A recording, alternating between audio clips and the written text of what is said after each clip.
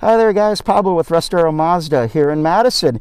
You know, have you ever been driving down a little bit of a slick road right after it starts to rain and all the oil starts to seep up from the oil and road and it's a little slick and you kind of step on your brake a little hard and you feel this pushback in your pedal? Well, that's your anti-lock braking system coming in. What that means is the car is saving you from actually locking up your brakes and sliding out of control because it's pushing back on the pedal and releasing the brakes a little bit and then hitting them again, releasing them, hitting them again. So you hear that shudder and you feel that pulsation in the pedal. That's doing its job to keep you safe so you don't slide out of control.